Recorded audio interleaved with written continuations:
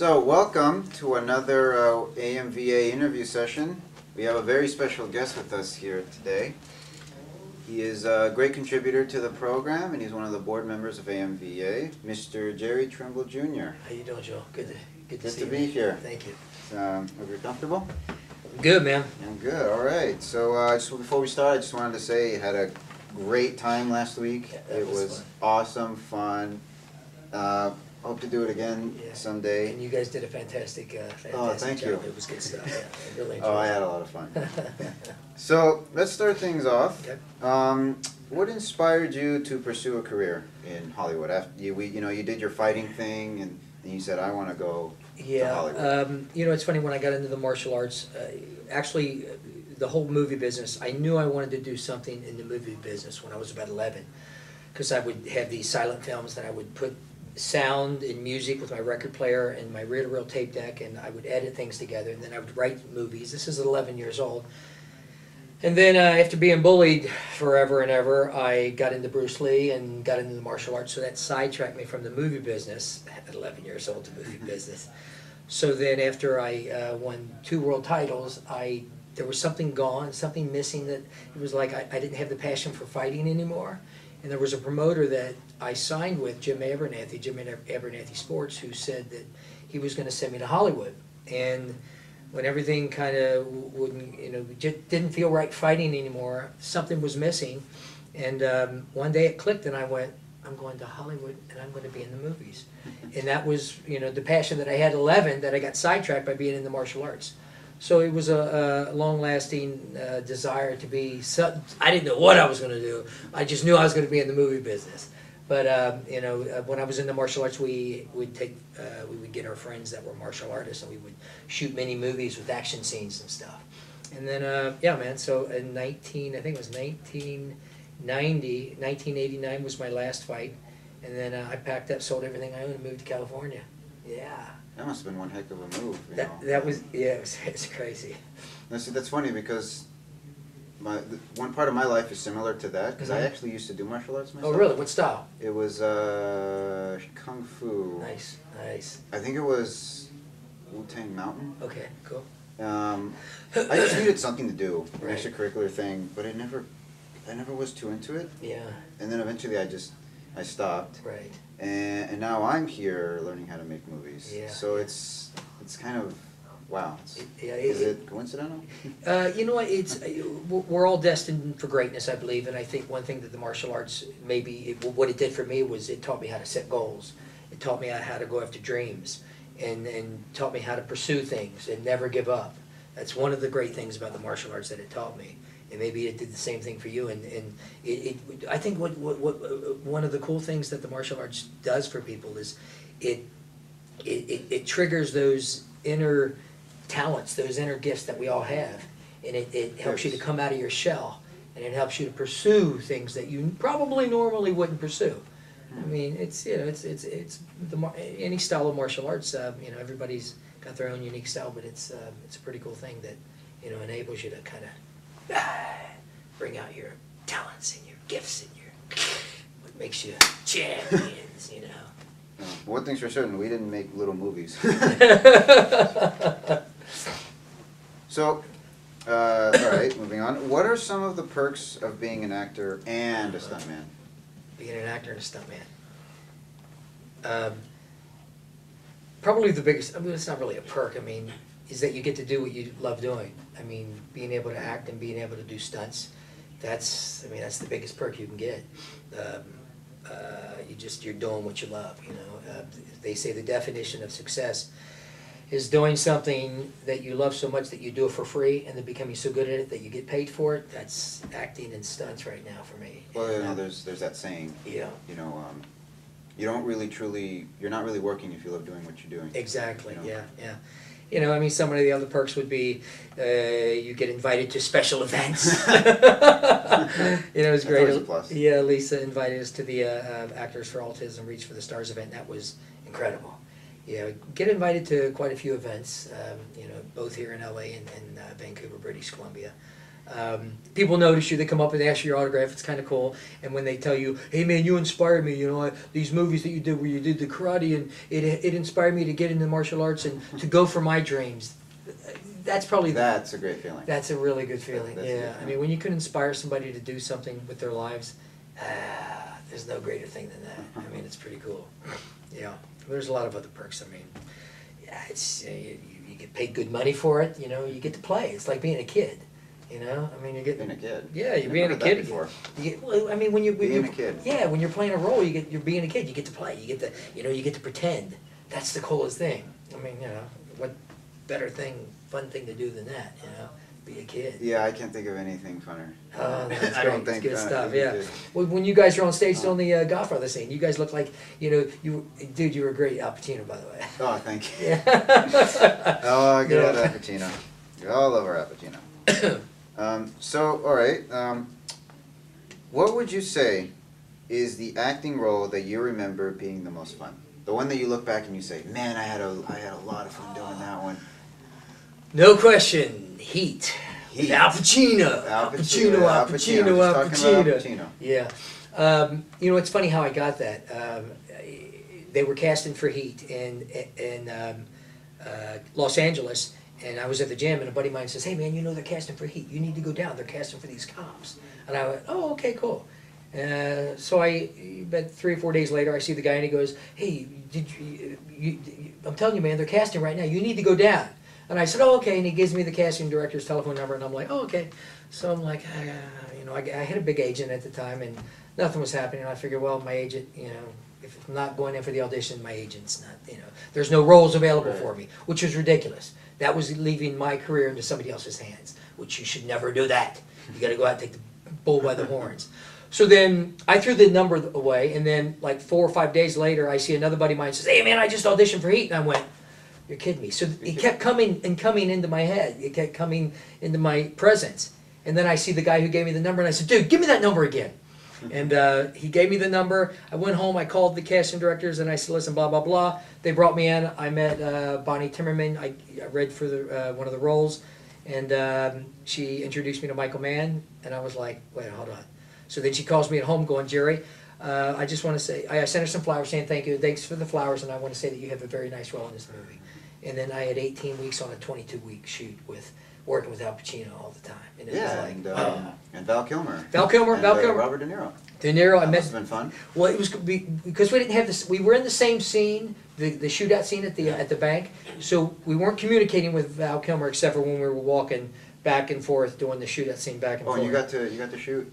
yeah, it was the, the, the bank robber scene. I got shot in uh, in, in in the the first rewrite or the first uh, uh, script version. My character died, and then Michael Mann rewrote it, and then I lived. And it was like, yeah. So I got shot in the shoulder, and uh, and I lived, and it was cool. You know, but uh, didn't really get to hang out with De Niro on set, but I met him at the firing range, and it was I was on this end with my de- deputy. We each had a de- personal deputy sh- to show us shooting, and then I looked to the right, and I'm like, "There's Robert De Niro." Excuse me, I'll be right back. Be right back. so, I- so I get out and introduce your autograph? and I'm like, no, no, I'm like, dude, hey, how you doing, man? Nice to meet you. He's like, hey, call me Bobby D. And I'm like, you want me to- whoa. I'm like, my heart's pounding on my chest. I'm like, Robert De Niro. Oh my God. It was a ma- major, major, major blessing. So every time I go, every day I went on set, I was like, thank you, God, thank you, God, thank you, God. Yes, thank you, God. I go to my trailer, hop on my knees and going, thank you, God, thank you. And it just, you know, it took a while to really sink in that I was actually working on Heat with Michael Mann, Robert De Niro, Val Kilmer, and um, uh, uh, Al Pacino. You know, it was, it was a major blessing. So that was my, yeah, I need another one of those. Um, so okay. Now, are there any movies you would have liked to have done stunt work for? Um, you know what? I enjoy stunts. Don't get me wrong. I enjoy stunts. Uh, Vic and Andy Armstrong, two of the top stunt coordinators in the business, they have hired me in a lot of their movies. Charlie's Angels, Mission Impossible Three, uh, War of the Worlds. Uh, these guys have been a major blessing, and uh, I am eternally grateful. But um, uh, like I did Green Hornet, and I had dialogue. I liked it. I like instead of doing just strictly stunts, which is cool. I'll take stunts, and I enjoy doing fight scenes. That's my forte. I enjoy doing action acting roles, you know, where I get to talk, get dialogue, and do some action. That to me is the best. To doing stunts alone, that's cool. Acting alone, that's cool. But when you get to do action and dialogue, Yeah. action, acting, ah, that's like that's dream stuff to me. Yeah, that's Yeah. fun. You meant, you mentioned that Tom Cruise can, um, in Mission Impossible Yeah. he, he showed some pretty good skills even though he's not a, Yeah, Tom Cruise was fighter. great to work with. You know, I mean, he was so cool. I had, uh, I was, I, I worked. We did the fight scene was about two and a half weeks, and it was really cool for one fight scene? for one fight scene. Just it was just Tom and I. After it was right at the very ending when right before he go rescues his girlfriend. It was that fight scene in the um, um, it was in Chinatown, I think. Yeah, and um it was a great it was a great fight scene and. T- Tom was great. I mean, he did the whole fight scene himself. They didn't put a stunt double in at all. I mean, I was I was pretty impressed. Yeah, that guy could move. He could move and groove. And and when they said cut, boom, he was just talking like just a nice guy, nicest guy in the world. Vic Armstrong was the uh, stunt coordinator. Uh, J.J. Abrams was the director, and it was Uh, J.J. Abrams? yeah, he directed it. Yeah. Huh. Yeah, it was uh, it was a blast. It was so cool, and the cool way that I it, it was funny because uh, J.J. Abrams was looking for the guy to do this fight scene. It was a one-on fight scene, and um, uh, he had all the stunt guys lined up. There was like nine of us lined up, and he's walking down, and Vic Armstrong's walking behind him, the stunt coordinator. J.J. Abrams is looking at the guys. He looks at me. He's walking, looking at the guys. He looks at me. He's walking away. Walks all around. He looks down. He goes, "You." Boom, and I went. Yeah, yeah, booyah, yeah, and then uh, yeah, two weeks, two and a half weeks of a fight scene with Tom Cruise. Hang with man, it was it was a, so- another blessing. Two and a half, so two and a half weeks To do doing like- one fight scene. Right. I think we should all take note of that Yeah. work work ethic. Yeah, That's yeah. something we should take an Yeah. example of It was right cool. there. And what did you do in World of Worlds? Uh, War of the Worlds, I was uh, I was just it was strictly stunts. The big uh, uh, the dock scene where the boat where Right. the people were jumping off the docks. I was one of the guys, you know, hey, hey, uh, you know, trying to freak out and live. yeah, it was uh, you know if you if you blink you couldn't see me, but yeah. Yeah, I was gonna say, well, we pause it just right. Yeah, can see you. it's like there he is. Yeah. That's a Kodak moment.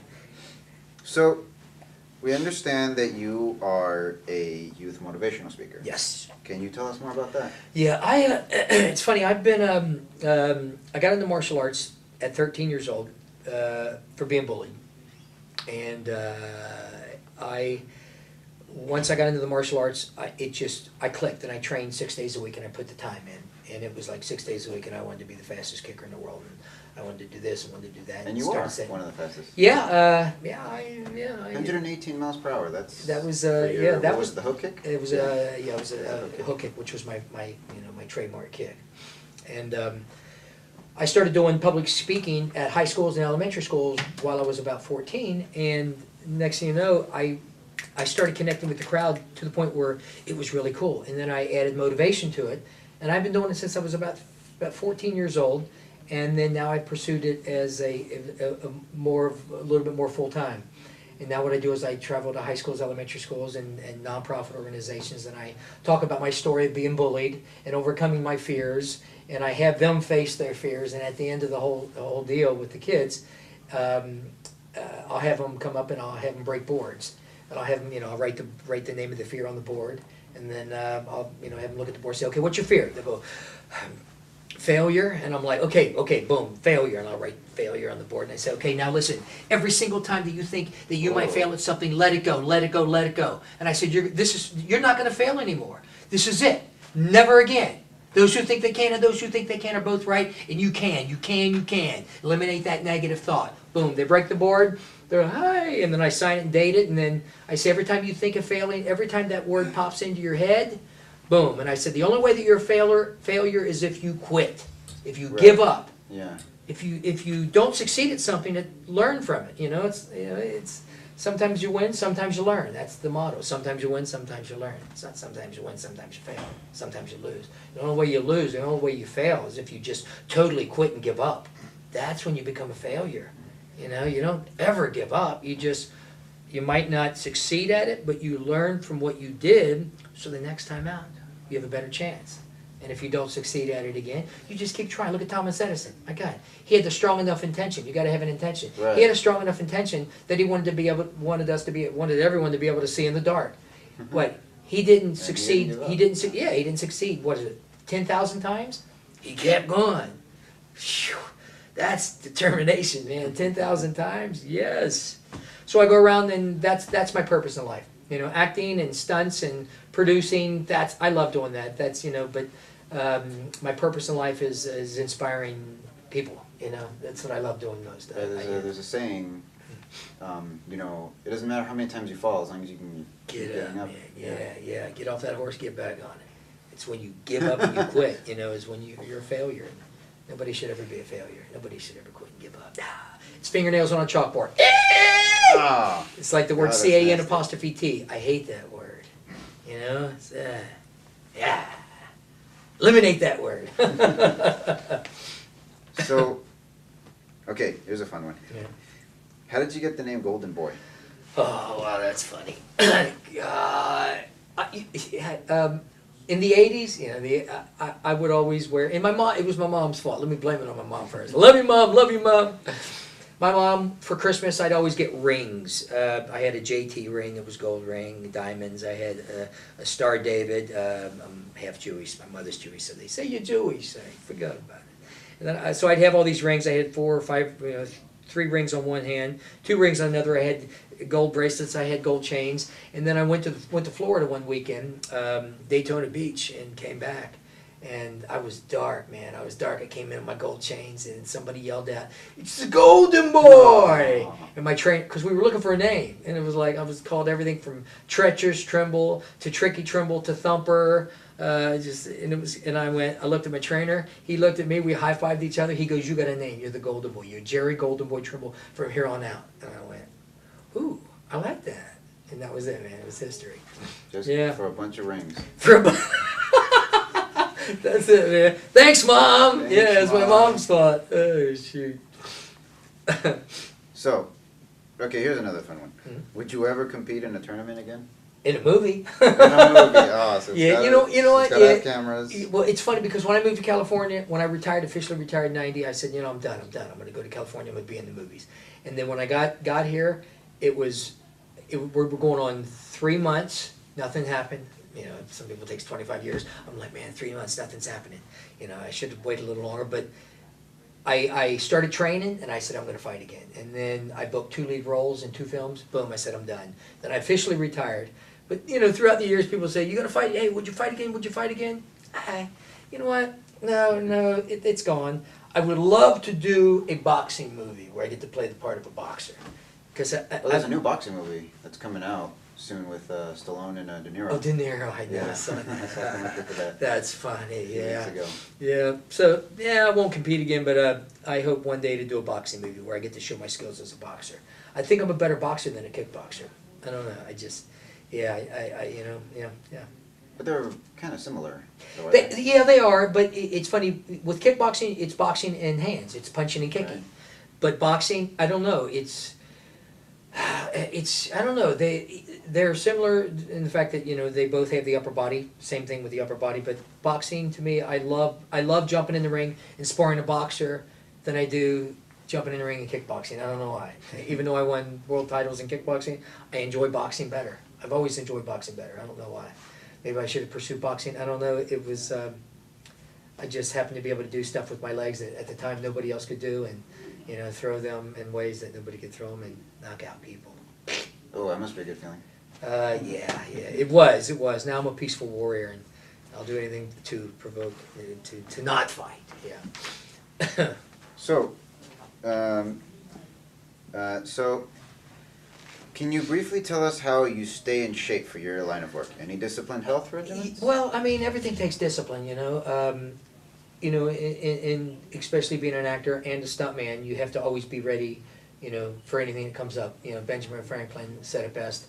It's better to prepare for an opportunity that may never come than have an opportunity come and be unprepared. Yeah. Yeah, so I mean, I'm in training. You know, I got a project that I'm shooting here that I'm uh, I'm shooting this weekend that I'm not at liberty to speak about. Mhm. The director says it's hush hush, but um, uh, I've been training. I've been doing a little P90X off and on. Oh, I heard Uh, about that. I P90X is pretty. It's, it's really man, intense. it's, it's it's it's some intense stuff, and what it does, it's like CrossFit. It shocks the body. So I'll do some P90X. I'll do some of my own workout. Cardio, what I do is I do something, my own little thing called funky boxing, which is, um, it's about Funky boxing. it, what I do is I'll find music that's got really it's pretty fast beat, bum bum bum bum bum bum bum bum bum bum, and and I actually timed it once. I'll punch for about maybe thirty to forty minutes, non-stop punching. I average about twelve to fifteen thousand punches in, in a thirty minute period of time. And, and what it does is it I'll try to keep the beat of the music and and just keep punching and keep flowing and keep moving and work the footwork and everything else, which challenges me. I can't run. Ju- I can't. eh, Forget that word. I'm unable to run because it's too boring. Um, I'm ab- unable to do the bike because it's too boring. I have to do That's what I something. do, hey. Yeah, well, no, no, it's well. See, some now, you know, th- there's there's things that people like to do. Yeah, if you like to do it, knock yourself out. It's just it's too boring for me. Yeah, I need something to challenge me. And, and when I'm shadow boxing, funky boxing, you know, you know, to sit there and, and to have you know a beat that you got to bam bam bam bam bam bam bam bam bam. Yeah, maybe I'll show it to you afterwards. Yeah, Yeah, I, it's, it's I'm telling you, it's, if you wanna show, you yeah. wanna show anybody here, you show you me, dig it, man. Yeah, yeah. show me. So it's cool, and then I and I and I juice. I juice constantly. Yeah, uh, organic. You know, don't do you know make sure it's organic. Fruits and vegetables. I juice twice a day. I uh, take a, a supplement line called Genesis Pure, uh, which is organic, natural, uh, liquid nutrition, and um, yeah, I mean you got to you know we only live once. You got to take care of the temple that God gave Right. us. So uh, it's you know uh, it's uh, it's crazy. You, you can't pollute it, and you know with all the toxins and all the junk and all the crap in the world today. Yeah, it's like there's more toxins in this room than there is outside with the carpet and the paint. Ooh, oh, just kidding. But yeah, just so you got to take care of yourself. You know, gotta gotta feed the temple the good stuff. Yeah, yeah, Well, uh, thankfully I do, so yeah. you don't Good have to for worry you. about Good for you, man. Good for you. Is there any advice that you can give to young students like ourselves Uh-huh. who are aspiring to be actors and or stuntmen? Okay. Um, take care of yourself. Take care of your body. Take care of your mind. Exercise the mind. Do brain training. I would highly suggest doing brain training. I do brain training. You know, they got Lumosity. Um, uh, Brain training. Brain training, yeah. Brain training online. Yeah, memory exercises, memory skills. Yeah, brain training. You know, people think they train the body, but they don't need to train the brain. Ridiculous. Train the brain. Brain training. Go, there's a lot of different brain training programs. It'll exercise the mind. It'll create new neural pathways, and really strengthen that mind. So you got to exercise the mind, the body, and the spirit. Uh, meditation, I highly recommend. Never give up. If you have friends that are negative towards your goals and dreams, either do one of two things. Get them help or get rid of them. You don't need to hang around with people that are negative. Learn as much as you can. Study and learn. Grow. As an, it's funny because when I went to school, man, I didn't have teachers that said you read, read uh, English. I'm like, ah, I know how to write. I know how to. You know, I didn't read as a kid. I didn't really get into English. Now, as a writer, as a producer, uh, you know, as an actor, history. I mean, as an actor, wow, history is, is, is so important. Yeah, You know, the different characters in history. Um, that was my favorite subject. yeah, it's Probably just one of the only subjects I was good at. Oh man, I'm telling you, you just keep learning, keep growing, don't give up. Um, write in a journal, you know, take acting classes, take acting classes. Al Pacino still takes acting, still takes acting classes. A legendary actor. Yeah, man. He- I mean, come on, nobody's perfect. Everybody, you, you know, you can. Everyone can always grow. You know, grow, grow, grow, grow, grow, grow as much as you can. Tomorrow's not guaranteed. Right. You know, and don't quit. Whenever you quit, the haters win. Don't give them that satisfaction. You know, Promise you we won't. dig it. Yeah. And finally, what made you want to join Actors for Autism? Um, yeah, what was it was like I think in the nine it was in nine the late nineties maybe 98, 99. Uh, my wife Amy Dolans had a an acting school called that she did out of her home called Theatrics for Kids, and it was a pretty cool school, successful. And there were there were times where there were a few autistic kids that came in. Right. They were a little bit too much for her to handle in the class, so she turned them over to me and with my hyper attitude and today you know mm-hmm. we clicked and i was able to connect with them to get through them to help them in a way that was like wow I, my mom my wife's like honey you have a special gift wow she goes the way that you communicate with these kids is amazing So every time we would have autistic kids come into the class, boom, I would teach them private classes. Wow. And, and it was funny because we would do, we'd do little skits, little movies, and I'd film it. And this was in the beginning of my years of learning how to edit. And uh, it would make drastic positive changes in their whole outlook on life and just their attitude. It was just the coolest thing. And then I heard about Actors for Autism through a friend. I came down, met Elise, and I went, I want to be involved. This is really cool. And then, yeah, the rest is history. And I've been uh, part of it uh, You ever just since. never know. You just never know. Yeah, yeah, it's cool. And here we are, man. And Here here we are, Joe! Here we are. Al Now, Pacino, Al Pacino, dude, man. So, uh, thank you for coming. thank you for having Thank me. you for man. being here. Yeah, thank you. Um, hope you had a good time. I had a great time, Had a man. good you. time, and uh, we'll be seeing you some other Yeah, time. and, and I, I bought, I pop back and forth uh, from here to Vancouver, um, and so whenever I come back into town, man, um, I'll definitely stop by and um, yeah, maybe we'll Yeah, do please. some, do some playing. Yeah, and, we could always yeah, use. Uh, do some skits and fun and play like kids. Yeah, ah, ha. it'll be a blast. That'll be great, right, guys? yeah, Be kids. dig it. Yeah, Be kids again. be kids again. Ah, ah, the- the yeah, innocence. don't ever grow up. Can't ever grow up. Uh huh. yeah, Well, dig it. what can you do? Thank Okay. you, sir. Thank you for All right, coming. My pleasure.